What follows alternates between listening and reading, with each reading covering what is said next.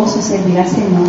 Y vemos un Edgardo que es mi yerno y una Isha que es mi exaltando al Señor y gozándose. Ellos no lo piensan, ellos no sufren para ir a la casa del Señor. Ellos se gozan. Y yo